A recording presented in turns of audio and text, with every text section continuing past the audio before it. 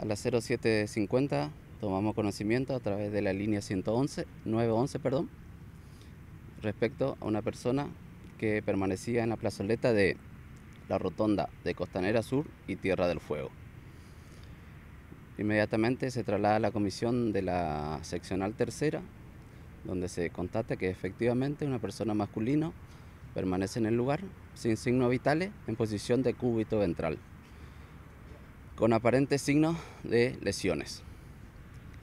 Se le notifica inmediatamente a su señoría el doctor Verón y el doctor Artúnez, quienes se hace presente en el lugar, juntamente con la Dirección Homicidio, Dirección de Investigaciones Complejas y la Dirección de Policía Científica. La persona permanece como NN, 30 años aproximadamente, un masculino,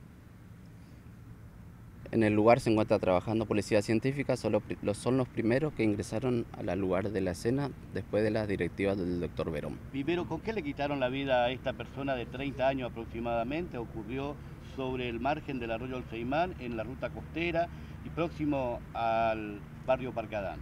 Y es muy prematuro para determinar cuáles fueron las causales del, fallecimiento o si se utilizó o no algún elemento. Como les repito, es muy prematuro porque Policía Científica hace minutos ingresó en el lugar de la escena y está trabajando. ¿Hay algún detenido? Se hizo unas averiguaciones por las mediaciones, se logró la demora de un masculino, 50 años aproximadamente, que la relación que podría guardar con la víctima, NN, es que son personas en situación de calle que viven por las inmediaciones, debajo del puente Saimán, Rotonda, el Saimán viejo, por ruta 12. ¿A qué hora aproximadamente toman conocimiento de esto? 0750 fue el llamado a la línea del 911.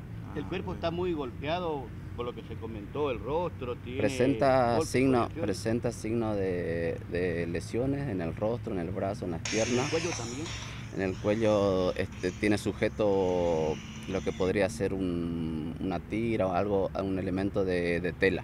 En el lugar se secuestró también o se va a secuestrar un trozo de tela que es el que usaron para ahorcarle aparentemente. Se secuestró elementos que podría guardar relación con, con el hecho. Eso se determinará.